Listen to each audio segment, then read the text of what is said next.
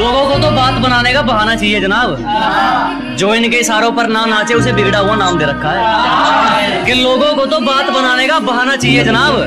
जो इनके इशारों पर ना नाचे, उसे बिगड़ा हुआ नाम दे रखा है। और अपने माँ बाप की नज़रों में सही बहुत है। इन दुनिया वालों का ठेका तो थोले